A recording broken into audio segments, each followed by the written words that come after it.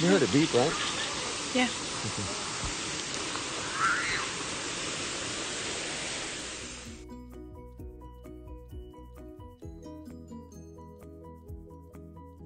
Hello. Hello.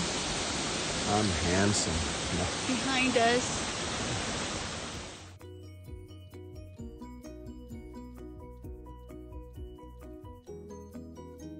Hey, you forgot something.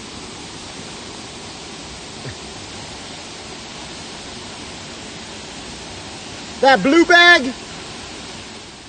Those little black dots, they're fishies. Like, look at them. They're all swimming because they're scared of me.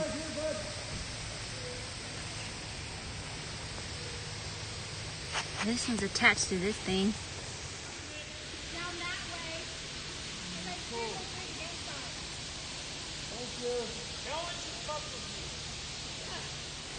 Thank you, Dad, for bringing me out here.